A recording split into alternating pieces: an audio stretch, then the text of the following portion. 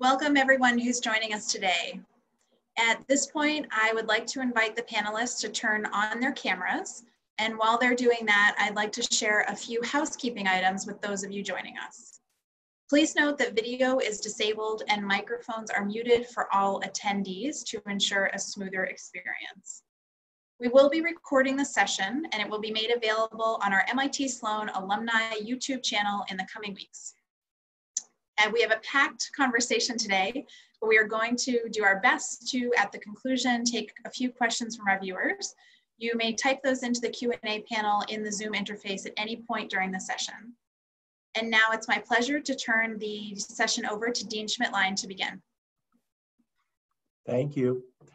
And welcome everyone. Uh, I'm especially grateful to our three alumni uh, panelists and speakers this afternoon. Um, you know, as we look at uh, the extraordinary challenges and some opportunities in this time, we thought it might be useful to look back at the 2008-2009 economic recession um, and to uh, speak with some alums who came out of the MIT Sloan School during that time uh, and uh, navigated their own um, somewhat different paths um, in the immediate uh, future after graduation and of course in the medium term as well. Um, it's been suggested that all crises are distinct, and in some ways they are. They start in different ways, they last different amounts of time, they end in different ways. But in other respects, crises tend to have some similarities. They ask for adaptability and resilience, um, and they challenge people with respect to the short and sometimes medium term goals that it would be great to pursue. And so we are hopeful that this afternoon's opportunity to chat uh, will help uh, with uh, information uh, and be engaging um, and maybe in some ways inspiring as well. So I'd like to introduce our three panelists. First, Kelly Courtney is a graduate of the Sloan Fellows class of 2008. Kelly is a communications and business professional with over 20 years working at the intersection of industry, government, and academia with a specific focus on the innovation economy. She's led high profile initiatives with major policy implications and has worked with Fortune 500 executives, investors, government officials, and major universities, including happily MIT. Kelly, thanks very much. Frederick Kerrest um, is also a panelist this afternoon. He received his MBA from MIT Sloan in 2009. Frederick is the Executive Vice Chairman, Chief Operating Officer, and co-founder of Okta, based in San Francisco. Frederick co-founded and co-hosts as well the award-winning Zero to IPO podcast, featuring Silicon Valley founders and investors and entrepreneurs sharing insights from their experiences building businesses. Frederick also serves on the um, Executive Advisory Board for the Martin Trust Center for MIT uh, Entrepreneurship, and he also advises early stage software companies. Frederick, thank you as well. And last but not least, David Menachery also graduated with his MBA in 2009. Dave is an investment advisor in the Washington, D.C. office of Goldman Sachs, where he advises private companies, pension plans, entrepreneurs, and nonprofits on both illiquid and liquid investment management and asset allocation. While at Sloan, he was awarded the Martin Trust Fellowship and Achievement Award for Leadership. Recently, David has served for four years as a board member for the Alumni Advisory Board for the MIT Sloan School. David, thank you for that, and thank you also for joining us. So without further ado, I'd like to turn to our panelists and begin asking our questions. Um, and as you know, we are going to try to preserve time for the audience um, to submit questions and have them answered a little bit later on. Um, you know, as we begin, uh, we have a little bit of a focus maybe on that 2007, uh, 2008, 2009 time period um, you know, maybe a little bit of what you were doing before you came to MIT Sloan, what your hopes were during your time as a student, and then how that transition to the post-student experience um, uh, went for you um, in the short and medium term. So Kelly, if we could start with you, please. Um, you have an extraordinary and impressive biography. And as you reflect back on your time at Sloan, are you doing now uh, something similar or maybe identical to what you thought you were going to do when you were a student here? Yeah, good question. Um, well, hello to everyone, and a special shout out to my classmates who are watching, joining us today. And uh, thank you, Dean Dave, to your team for putting together this panel. It's um, been great. Um, and, and I'm happy to join such great panelists. So, um, answer to your question is no, not really. Um, I'm not doing what I thought I'd be doing. Um, prior to attending Sloan, I was working with biotech and investors. Um, and it was one of my clients who suggested that I might benefit from the value of a business school education. Um, and my plan after Sloan was either to scale my business or to enter the corporate um, um, arena and um, so I went to New York because who didn't think it was a great idea to go to New York in 2008 when the financial crisis was sending ripples throughout the, uh, the economy. Um, so the financial meltdown pretty much uh, eliminated opportunities for me at that time in the corporate sector. And uh, the decision was, it was obvious to me to continue with my, with my consulting business. Uh, since I was in the city, I accepted a random invitation to the United Nations and, um, and met someone who became a, a real partner for me in business. And because of meeting this amazing force and being open to um, a new opportunity and cultivating that relationship, I broadened my client base into an entirely new sector, which I never could have imagined being in. And that's um, with, with um, clients such as SAP and Google and Trado and Women in Technology. So, you know, back to what you were saying in your opening uh, remarks is that, you know, adaptability, being open to change. And, you know, I know, I know most people probably uh, listening and participating in this panel are planners and have every minute of every day planned, um, overachievers. Um, but sometimes it's okay if the, if you step back and make the space to be open to something new or if the universe throws you a curveball like a you know bad economy or a pandemic you know you know keep in mind that there's opportunity um, that might arise from this. Thank you kelly. Um, when you think about opportunity so i'm going to turn to david if i could for the next question. Um, and it relates to um, a desire in any time of crisis, uh, maybe to try to um, pursue uh, opportunities that seem to have some security or safety associated with them. Um, and, uh, you know, can I ask you to talk a little bit about uh, your professional priorities and passions and um, how you thought about opportunity as you were choosing the path just after MIT Sloan?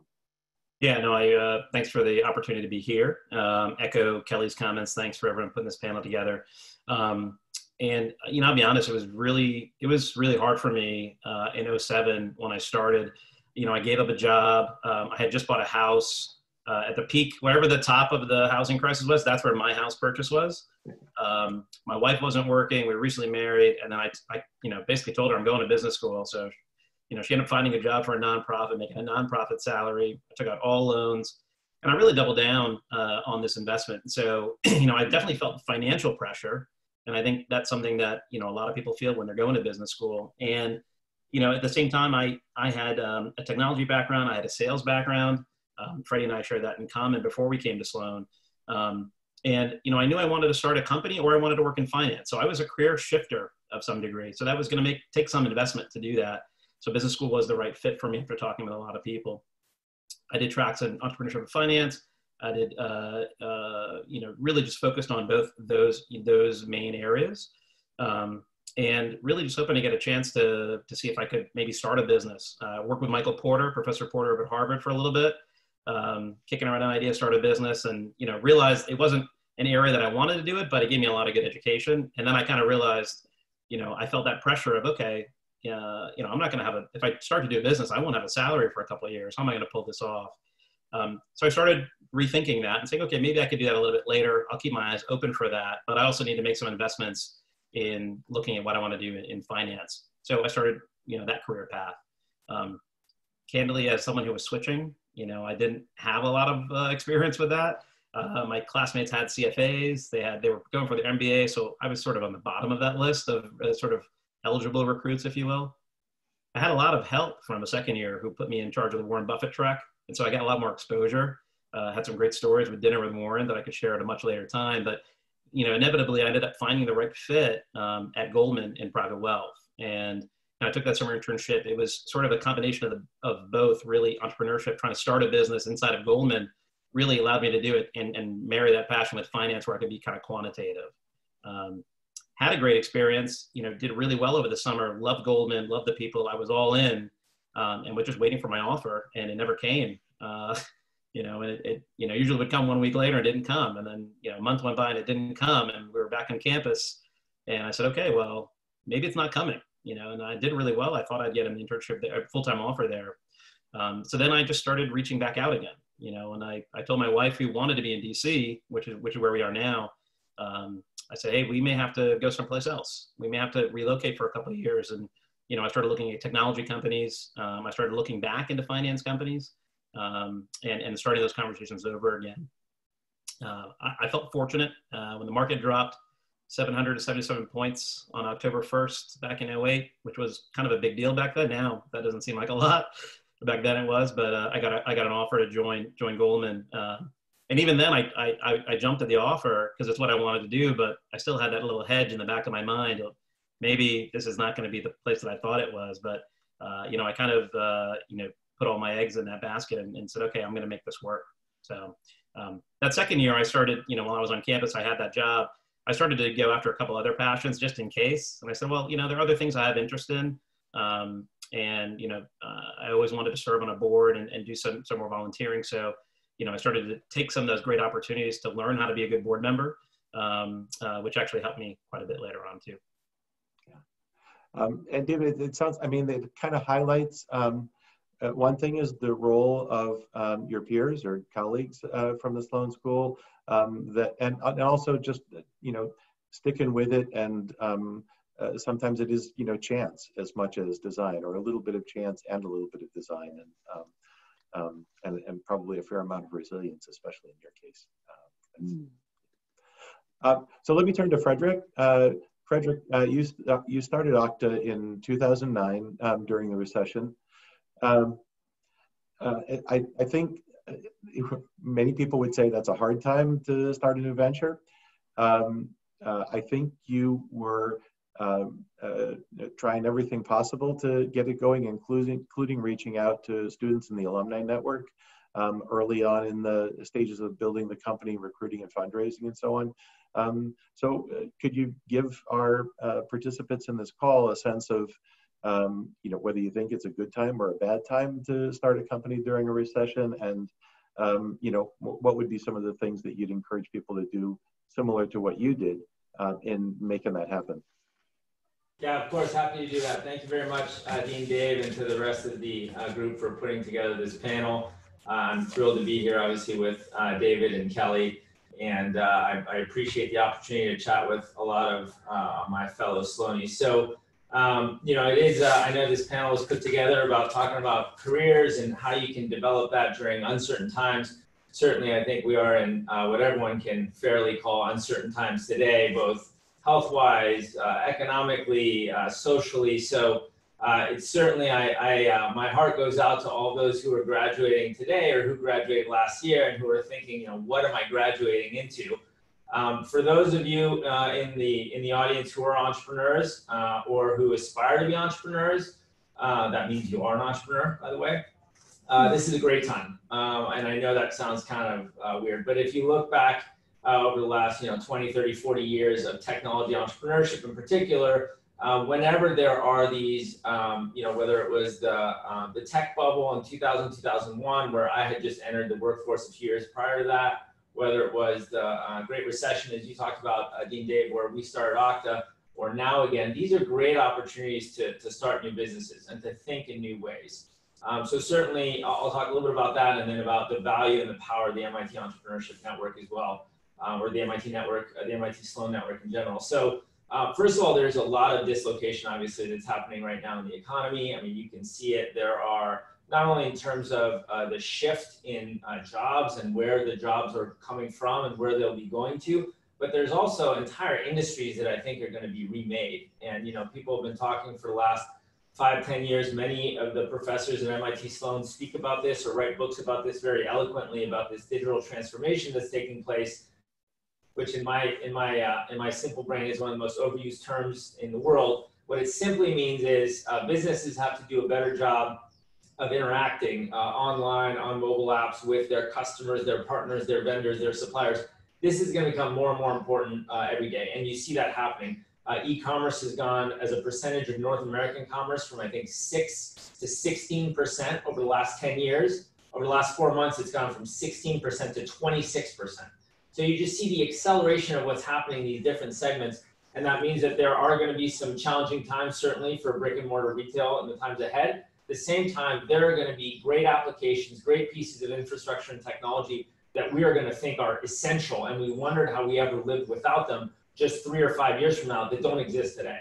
And those are the types of opportunities that I think are, are out there and that, uh, you know, there is not a day that goes by that I don't have very uh, great conversations with very intelligent, aspiring entrepreneurs coming up with new pieces of technology or new ways of doing things that I think are going to be uh, transformative. And so that's definitely something I, I encourage everyone to look into. Um, and then, of course, you have the backdrop of the MIT Sloan uh, community, which is phenomenal. As you mentioned briefly, uh, Dean Dave, when we started Okta in 2009, uh, we had the opportunity of looking ahead and really uh, taking advantage of that and uh, getting some expert advice from not only folks who were recent grads, but even uh, folks who've been grads 10 or 20 years before. Um, for example, the, the folks at HubSpot, Brian Halligan and Dharmesh Shah, who graduated just a couple years ahead of me, uh, were very helpful in thinking about how we put together our business plan, how we thought about financing, how we thought about going out there and building our first set of customers. Um, there are some great folks who graduated uh, 10 or 20 years ago, like Rich Wong at Accel Partners, who I was able to reach out to and talk to about uh, how I was thinking about venture capital. I even got a job uh, while I was at MIT Sloan with Mark Gorenberg, uh, who's been at MIT for a long time, who you know uh, was was great in giving me just mentorship and thinking about all these things. So what you have to do is you just have to be confident and reach out. These people are always willing, and I get a lot of requests myself. I'm always willing to respond. Uh, just think intelligently about how you can get help, how you can get advice, uh, specific pointed questions you might have, and obviously something that you can give back in that relationship. Uh, when you reach out to Kelly or David or anyone else, they'd love to hear from you. But if there's also something you can provide from your history or information or even things you just got from MIT Sloan in that conversation, it'll make it twice as powerful. Um, and then, and then finally, you know, uh, one big part of going to MIT Sloan, I know that you are all uh, obviously very intelligent, very experienced, uh, excellent professionals, but also very resilient. And so this is a time where that resiliency really comes through. And you know, there are going to be some bumps along the way, but there's some bumps along the way in life in general. And I think this is one of those opportunities where if you really uh, look at the the half, the glass half full, and see some of those opportunities, there are going to be some great ways to build businesses in the years ahead.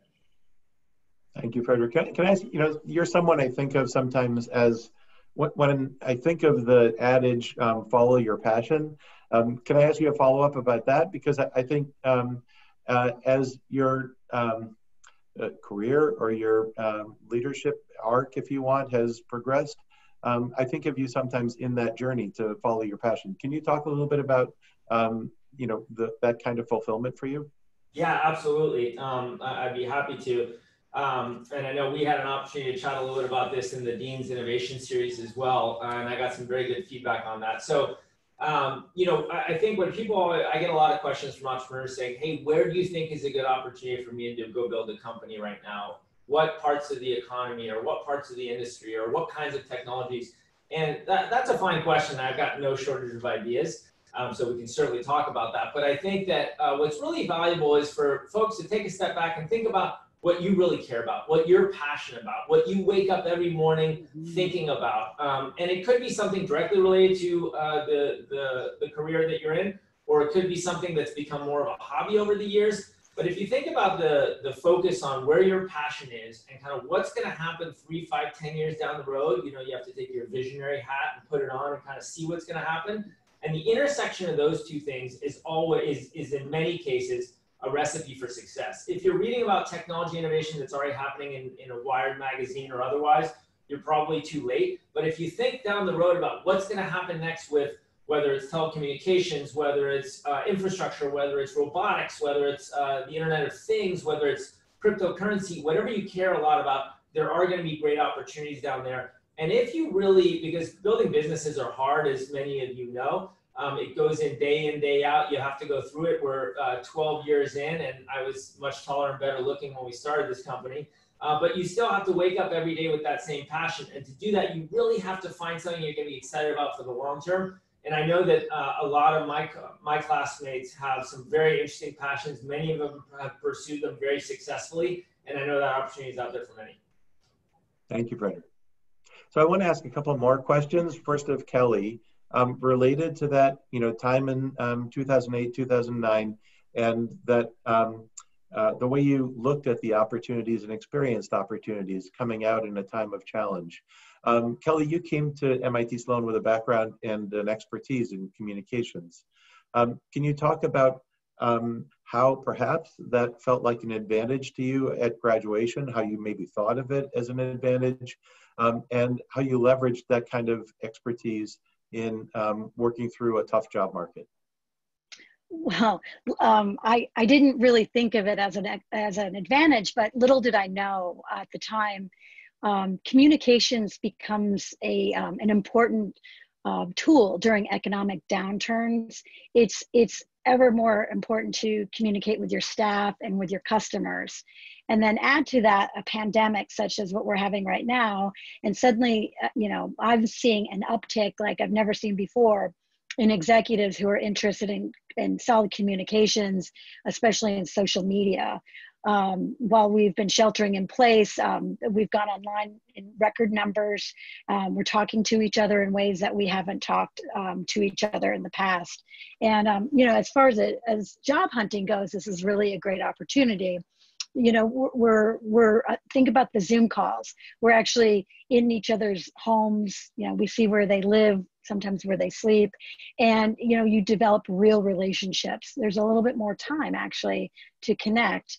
Um, and then you have the opportunity to talk with individuals. If you went to a conference you you know almost never get an opportunity to speak with the um, panelists. Um, but when you're on a when you're on a small zoom call you can ask direct questions you can follow up on linkedin so i think it's it's it's um you know it's um it's a great thing. As far as um, leveraging it in the, in the market, I've seen in the last 10 years executives put more emphasis on communications and seeing how it really positively affects the bottom line.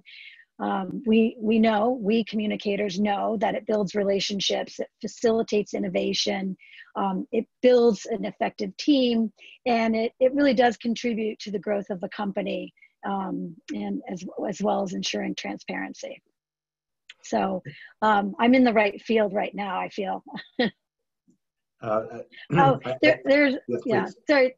There, well, as far as that goes, Freddie wrote something um, in Business Insider recently about um, how, how crucial sales um, um, um, principles can make anyone more successful in their jobs, no matter what it is. And I feel the same for communications. It's it's essential to have good communications. Um, can take you far, and it's it's uh, essential for the growth of a company.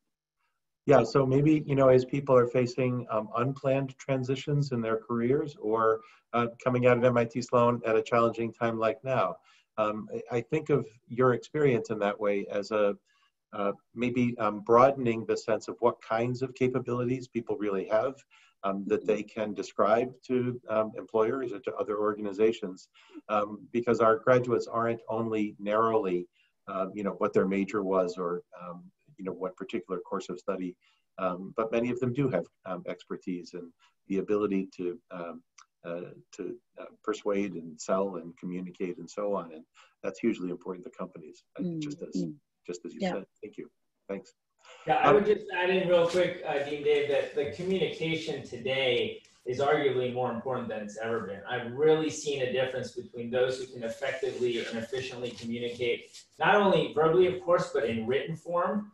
Um, mm. During this uh, COVID 19 uh, period where everyone's adjusting to this new dynamic or remote work world. Uh, and in fact, I've spent a lot of time with uh, leadership at Okta and others in coming up with some ideas around how you can improve the written word. I think it's probably something that we were all great at 50 years ago, and then all of a sudden it's kind of mm-hmm. declined as we've gotten into this staccato word, world of sending, you know, uh, paraphrased emails. But I think the written word, word, word is going to become more and more important. And I think exactly what Kelly said is something I would highly encourage everyone to think about because that will set you apart, especially today in this job world, those who can communicate well and those who can't. Thanks. Agree. Um, so maybe we can, uh, Dave, I'd like to ask you about the period um, just after uh, starting. Um, so, you know, as we discussed, you started at Goldman. Um, uh, you know, there was a crisis that was called a financial crisis for a pretty good reason. And so, uh, kind of an interesting time to be in that sector. Um, and so, I'm wondering what the investment industry felt like um, at that time, just after being at Sloan. And, um, you know, if you feel that the challenging economic climate, uh, either positively or negatively, made a difference to you in um, your developing at the company, and um, uh, and how in your development your experiences from MIT Sloan or your being from Sloan um, helped you in that regard. But it's that period, you know, after graduation, and you're you're trying to navigate your way within this firm. Yeah, no, that's a great question. A lot to unpack there. Um, I'll do it succinctly as I can. Um, I, I, would say that, you know, as a communications TA back at Sloan, that helped me out quite a bit um, uh, to think about this, picking up on what Kelly said. But, you know, what was lacking post financial crisis in the financial industry was trust. And, you know, as, you know, someone who had a sales background, communication is, is really about building that trust. Um, and so, you know, the, the industry really didn't have it. There were big regulatory changes that were changing the banks um, as we as we went when uh, and, and try to rebuild and, and solidify. And again, I joined after all this happened. Um, but when I talked to people, they certainly had something to say to me about you know what I had done. certainly, uh, with, with, being now affiliated with a bank. Um, so trust was a big part of it. Um, you know, at the same time, the other big industry change that was happening was people were moving a little bit more away from active investing into passive investing. Uh, so that was another big industry change of, of, sort of things that were, were going on at the time. So, you know, I had to build a business, get new clients uh, during a time when, you know, people were certainly lacking a little bit of trust in what was happening in the financial markets or specifically with banks itself. Um, the other thing that was interesting was that during that time, a, a, large way that we got clients was that they would sell a business and they'd have new liquidity. So if it was a, if it was a uh, private client, um, they'd either IPO from their business or they'd have a transaction where they sold, you know, a family-owned business. That really wasn't happening. Everything was kind of frozen for a long time. Um, and so that kind of liquidity just wasn't taking place. So it was definitely a challenging environment to sort of start these new relationships. So you had to be really long-term focused. Um, you know, we were helping people think about how they could get loans, just building relationships over the years uh, to get to know people, and it, it took time. Um, but you know, through that communication, we were able to build trust, and they were able to see a little bit more about me and learn me as a person, and being able to trust me and trust me at my, my firm uh, at that time. So it definitely took me longer than I thought in the early years. But again, everything was was just an investment. And, and to answer that that last uh, question around what about Sloan, that kind of uh, made me stand out. You know, I would say two things. The first thing would be that um, when I was at Sloan, we studied something called the Black Litterman model, this is a asset allocation model that was taught to basically everybody in sort of investments 101. Um, and uh, I know Dean Dave, you talk about this all the time. You say, you know, Sloan is the uh, sort of modern, you know, home of sort of modern finance um, for the world. And you know, Fisher Black and Bob Litterman both, you know, taught at Sloan. They both worked at Goldman, and when they came up with that model, and they published it in the early '90s, and so everyone was really using this model. And so, you know, I felt really fortunate. I got a chance to talk to Bob Litterman when I was at Goldman about this model and uh, you know, really kind of put two and two together and, and really use my you know quantitative skills I learned learned at Sloan and bring that to bear for my clients. And you know, when I started talking to them about sort of the insides and outs of these models, I stopped getting questions about the model, and they started to trust me a little bit more that I kind of knew what I was talking about. Um, so that was the first thing that that kind of certainly helped me, and I was able to stand on my two feet very proudly with that. I think the second thing is that, you know, even though the landscape was difficult, Freddie mentioned something I think is really important in that there were green shoots starting to come up from new sort of topics. You know, Bitcoin, blockchains just started happening right then. And it really happened after I left Sloan. Um, but impact investing, ESG, these were topics that were, and sustainability, these were topics that were being discussed at Sloan back in 06, 07, 08.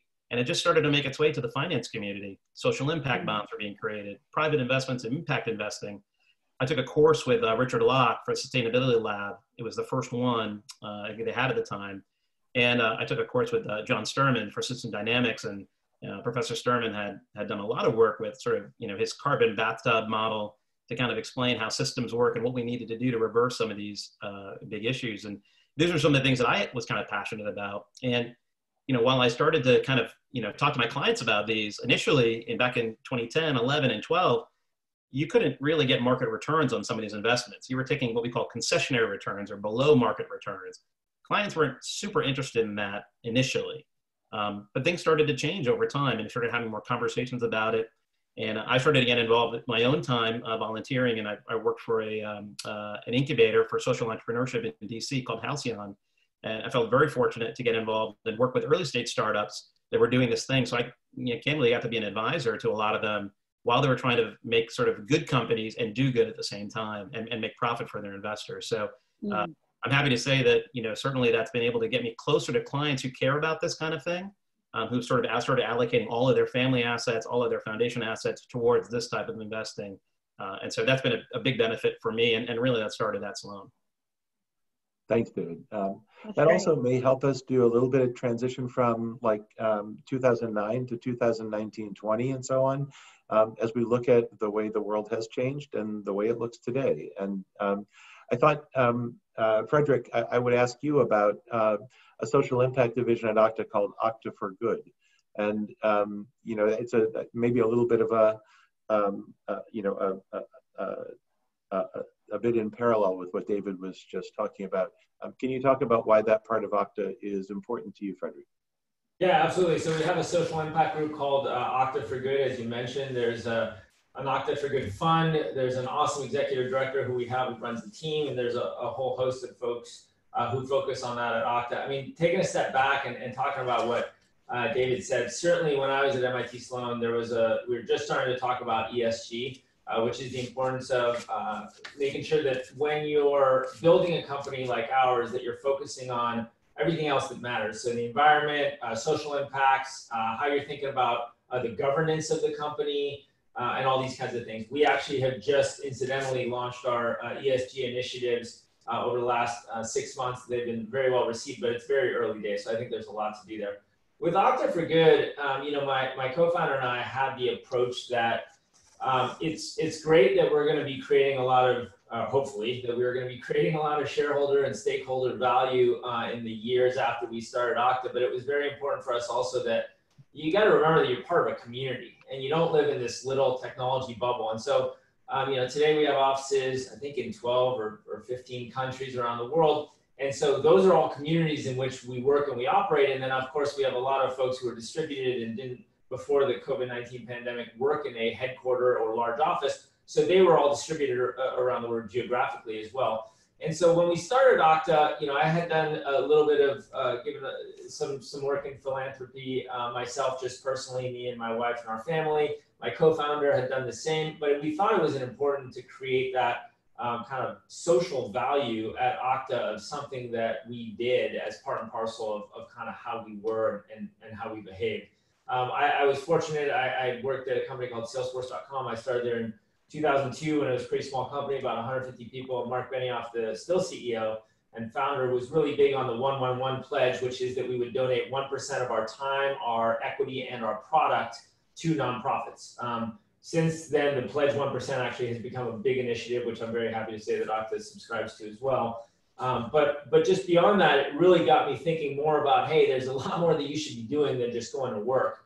I know, you know, folks like uh, David, and I'm sure Kelly as well, but I know David personally because we talked about it even when we were in school together, had always done a lot of things in his community. I think it was Boys and Girls Club, if I wasn't, if I'm not mistaken, uh, even well before MIT Sloan. Um, and frankly, you know, when you're in your the early part of your career, you might be kind of focused on what you have to do to uh, professionally at work and all these other kinds of things. So taking a step back and remembering that you're part of a bigger community is very important.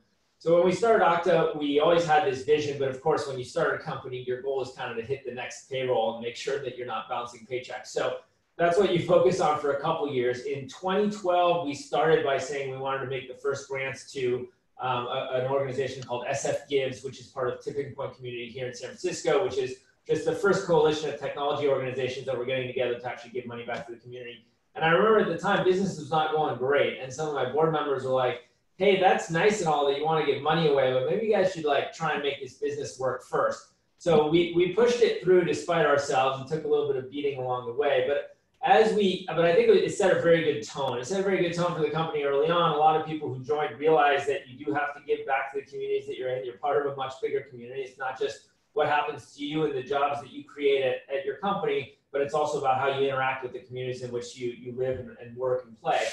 Um, as we went along, right before uh, we were fortunate enough to go public in April 2017, so as we were writing the S1 registration document in 2016, we actually set aside 300,000 shares of uh, Okta stock, and we set aside for a new group we were starting called Okta for Good.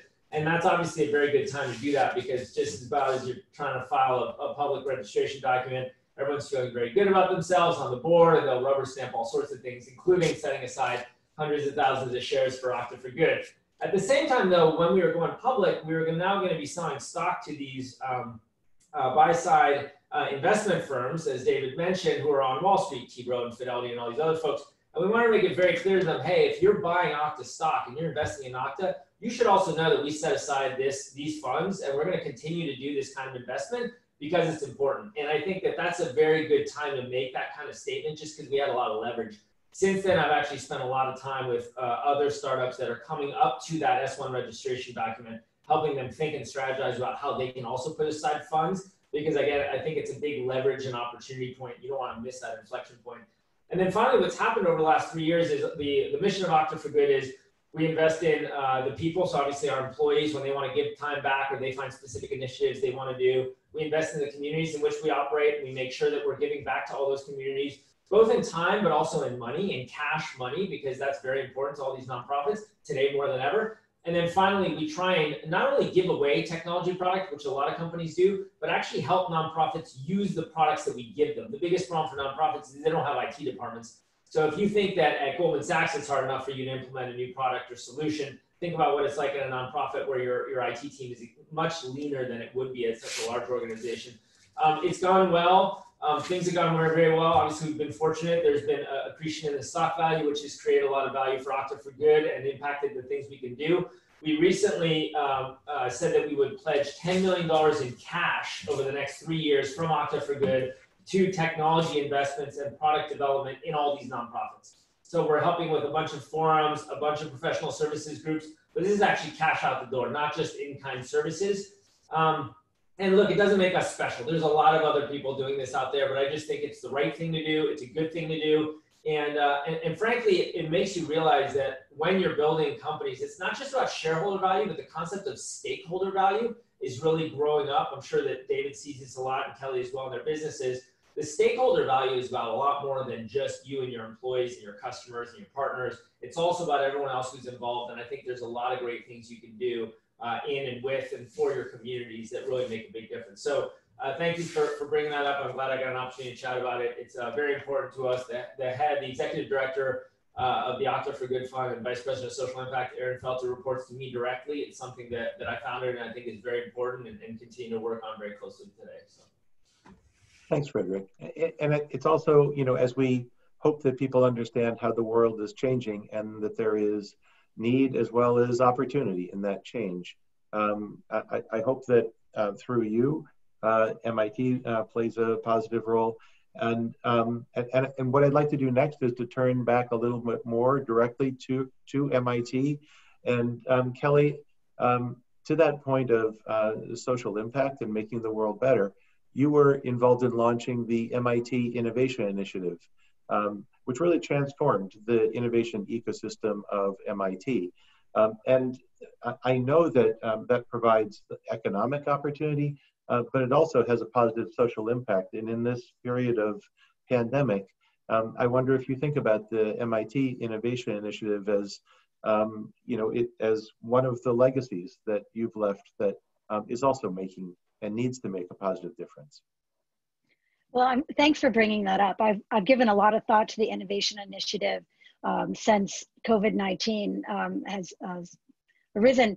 And um, but first, I just Freddie, wow, uh, I'm so happy to hear what you're doing with Okta for Good. Um, it's great work. I've done a lot of work with nonprofits, and um, boy, you know, just sometimes the technology or lack thereof, and the working with skeleton crews who have just you know given so much to making things work, but they need that extra help, and and so.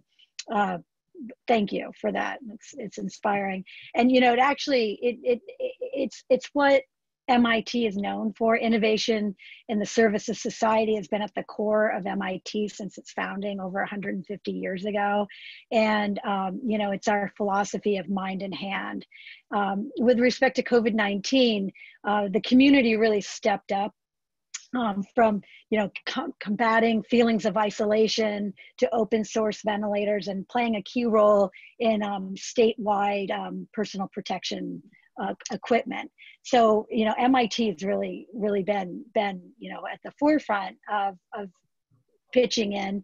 Um, and um, the other thing is, is I'm really proud of the fact that we, this MIT has come up with a fund to help um, you know th- those in need during during during this um, uh, pandemic.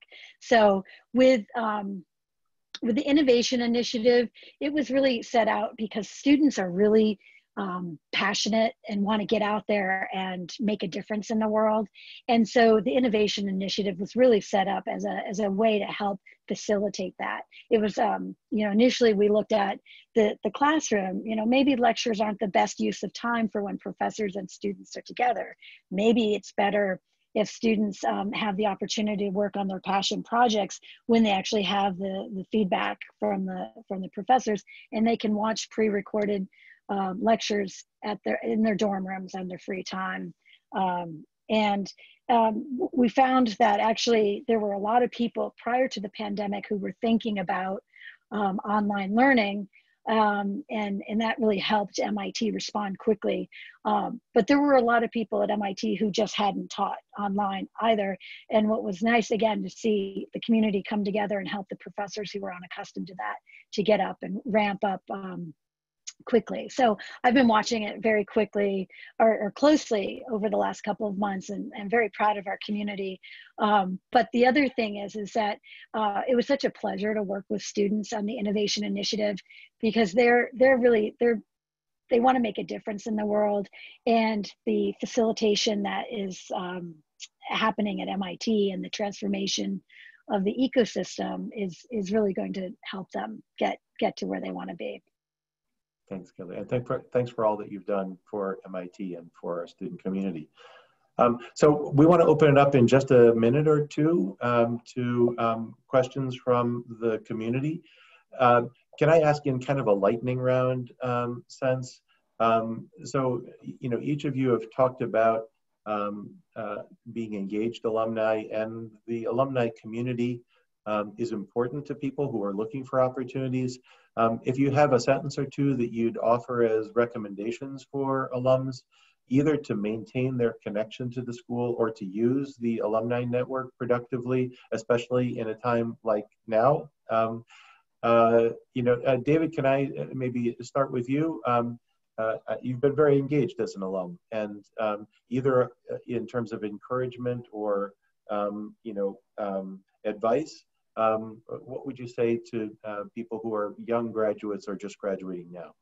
Yeah, I would say reach out, reach out, reach out, and, and don't stop doing it. Um, you know, when, when you were on campus, you know, I think for the first semester, you had a full day dedicated to your career and, and finding your career path. Um, you know, you should take this as seriously. I mean, you've been make this huge investment in your network. Now's the time to, to keep making that investment, and it will pay dividends for you, not just six months from now, but these long-term dividends, not just from the relationships that you can see and and and and, and things are in your in your industry. But candidly really it's people outside your industry. Uh, that's where that's where the most interesting developments are because those are your blind spots. And so um, you know your own classmates are, are one slice of mit sloan. And then your region is another sort of vertical slice. I live in dc so i know all the dc mm-hmm. alumni. But then that's it. And so i have a little bit of diversification. And then i know the sloan people that are in my industry. But outside of that there's so many amazing people out there. So my second piece of advice is attend conferences. Um, if you can, carve out that time. There was a there was a classmate of mine. He was um, uh, Justin Gouchard. He was on the board with us, And he made this, made, you know, really changed that, clicked in my head uh, when I was on the board with him. And he, he attends quite a bit of conferences. He takes a certain percentage and he says, I'm going to make a reinvestment in myself to just get out there and get more educated. I, like I mentioned, Bitcoin blockchain wasn't around, but these are technologies that are going to be fundamental. And so find out how you're going to do that um, and, and, make that education. And Sloan does a pretty good job of that um, uh, through their conferences, through their through their reunions is a great way to do it. Um, and then lastly, I would say find a professor or two and stay connected. Um, you know that, that's something I think that's incredibly valuable um, uh, that, that, people can do, and uh, and I, I, think it's something that's really easy and, and just keeps the network going. Thanks, David. Uh, Kelly, can I come back to you and ask if there's anything that you might like to um, add or say on, on this topic of connecting and using the alumni network? Of course, you know, during an uncertain job market, your network becomes even more important. And um, you know reaching out to your classmates may feel really comfortable and an easy thing to do. But as david said you know we have a wider sloan network and we should use it. You know we're all in this together. We have a stake in each other and um, I, have some uh, great examples of my classmates a few of my classmates actually used the infinite connection to reach out to individuals uh, who they didn't know. They just scoured a region that they wanted to work in or a sector that they wanted to work in, and and those that did that actually landed some really good, interesting jobs, even despite the bad times of 2008. Um, and I just wanted to give a shout out, actually, uh, Dean Dave, uh, for putting more effort into the career development office. I know you elevated that office and you put more resources into it that then existed when we were there 10 years ago. So um, kudos on that because that's an important um, addition as well. Well, let's pause on kudos. Kudos is fantastic way maybe to make a transition with apologies to Frederick, but we have only a few more minutes to go. And um, I've got nothing to add, Dean Dave. They didn't leave me anything, so there you go. well, um, so uh, those kudos for their doing um, as well as they did too. You know, Thanks, uh, everyone. So I think um, I can, Dean. may have some. Oh, go ahead, Dave. Jump in here. You know, we weren't the only ones that kind of started at Sloan around this time. I mean, I, hmm. specifically, you also started uh, career at Sloan around this time too, and so you know, w- one of the things that's that's really interesting, obviously, is you stepped in to have a leadership role during this crisis back in 2008, 2009. What were some of the things that you learned uh, back then um, as you stepped into this new role? Yeah, so I mean, some things are kind of anyone would have seen. You know, you need to protect cash. You need to focus on the few important things. Uh, you need to build, in that case, very quickly a leadership team you can trust, and so on. Um, but the things that I learned about our community um, stayed with me for the longer terms. Um, Sloanies helping Sloanies is not just a phrase; um, it's real, and it was real during that time when people made sacrifices that um, disadvantaged themselves to help their friends if they thought that their friends would have a better chance to succeed in some particular setting. Um, that so much stayed with me. Um, the other thing that stayed with me from that time that I saw in our students is um, that um, a, a, phrase that I've used sometimes the ability to have the courage of well founded convictions.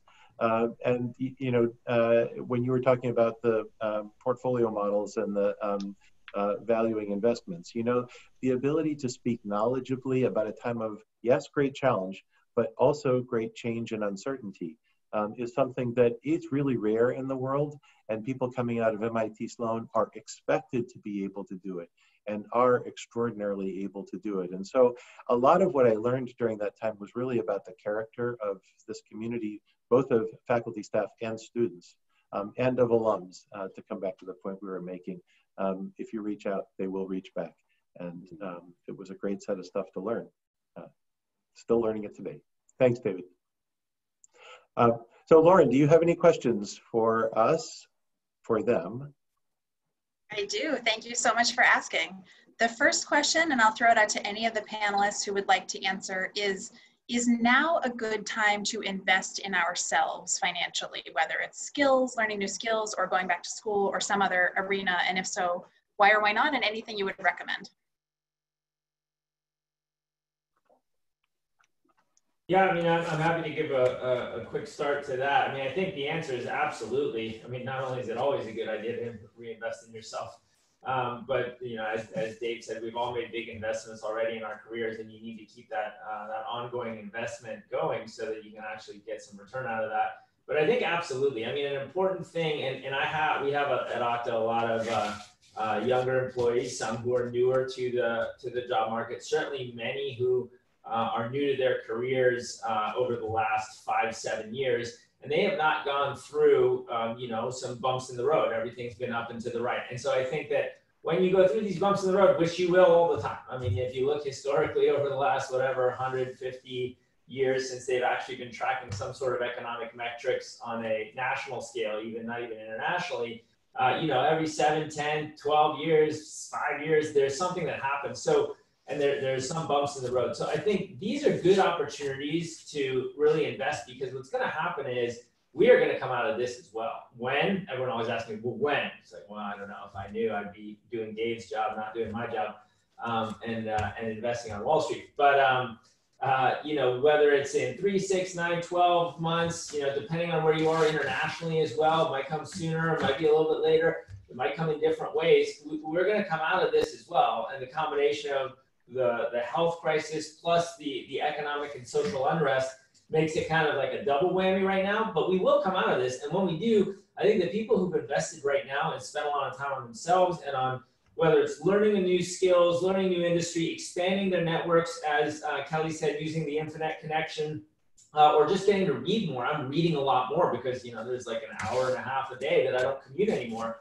Um, so just learning new things and, and expanding what you can do, I think is going to put people in a really good position when we come out of this to, to take advantage of the opportunities that are there.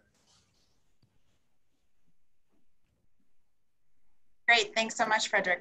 This one's for Kelly. Given what you know now, 10 years later, what would you have done differently when you graduated from Sloan, if anything? well, um, so uh, when we graduated there were a bunch of weddings. Our classmates were all getting married and uh, they had weddings all over the world. I attended a few but i didn't attend all of them. And i definitely would if i had to do it over again i would attend every single wedding. I would never miss an event or an opportunity to get together with my classmates and cultivate our relationships further. Um, and then i was uh, giving some thought um, the other day that um, 10 years ago I wish I had placed heavier bets on Facebook, Amazon, Netflix, and Google. but other than that, it was a, you know, I, I think I've made the right choices. I, I'm happy where I am. Great. Thank you, Kelly. This question is for David. You mentioned learning about being a board member during your second year at Sloan. What did that look like for you and how have you applied those learnings? Yeah, it's a it was a really exciting time. Um, a classmate of mine, Harpreet Singh, started um, with with her work at Bridgespan, a Sloan Board Fellows program, where we basically for the, for part of our second year we got to actually be on a board. Um, in Boston, I was on Jumpstart, early education uh, awareness, and great board. Um, I, I, actually didn't know it, but I had actually participated in some of their stuff earlier anyway. Um, but it gave me an opportunity to see, truthfully, just how a board functioned. Um, you know, what was sort of strategic planning for the board, um, at that point, I was still pretty early in understanding sort of, you know, where we were with, you know, financial models, financial metrics, you know, profitability, um, but certainly setting a vision for, for a nonprofit organization was fantastic. Um, and it gave me an idea of, okay, how do you, you know, what, what is the responsibility of someone who's on a nonprofit board? Um, it, it's a little bit different uh, and your role is a little bit different in, uh, in trying to fulfill the mission. So um, it was something that my wife and I had felt pretty strongly about. Uh, we always knew this was going to be part of what we wanted to do long term. So I wanted to make sure I got a little bit of education on it. That's great, thank you. And finally, a question for all three of you. Ultimately, do you think that graduating in uncertain times was an advantage or a disadvantage? This is probably from a current graduating student, so think carefully about your answer. I'll go first, and then, um, but I, I think it's, I candidly, I think it's always an advantage. Um, you know you're going to be a little grittier a little bit more resourceful a little bit more resilient. Um, and you know truthfully that's the kind of skill set you need to make sure you continually develop uh, as you grow your business. And you know if this is a tough time now as your business uh, you know as your career expands and grows you'll always look back and say well it's not as hard as it was when i first started. So you know it got new challenges but you know i made it through then i didn't know what i was doing then. So now it's it's a, it becomes a little bit easier because you may know slightly a bit more, um, but there'll be new challenges that get that get put in front of you. But I, I certainly think I certainly find it to be an advantage um, if you're willing to bet in yourself long term. Well, I, I touched on it a little bit earlier. I think that this is a really unique opportunity to engage with people on a level that you probably wouldn't have otherwise. I mean, as Freddie mentioned, he has an extra hour and a half um, time to his day. So think about all the people who you're trying to connect with uh, and network with. Um, they too probably have a little more flexibility in their day. So maybe that's an opportunity to to reach out and really, again, if you're job hunting, you get that infinite connection. Um, start you know working working through you know lists. Make make a goal of of reaching out to new people and old people every day so that you're fostering relationship and cultivating relationships at the same time.